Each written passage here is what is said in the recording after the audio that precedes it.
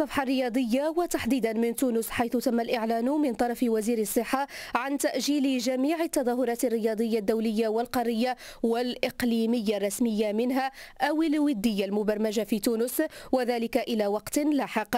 أما البطولات المحلية فتستمر بشكل عادي وبحضور الجمهور. نستمع لوزير شؤون الشباب والرياضة التونسي أحمد قالول ما عندناش إجراءات في قطاع الرياضة أو الوضع اللي قاعدين نتبعوا فيه بشكل دوري معناها كل ثلاثة أربع أيام خمسة أيام يجتمع. وفما لجنة تتابع الوضع اللي نحن قاعدين نتبعوا فيه إلى حد الآن ما وصلش إلى حالة من الخطورة. تجعلنا نتخذوا إجراءات جذرية فيما يخص التجمعات البشرية نتاع المواطنين التوانسة. بما في ذلك الملاعب والقاعات الرياضية.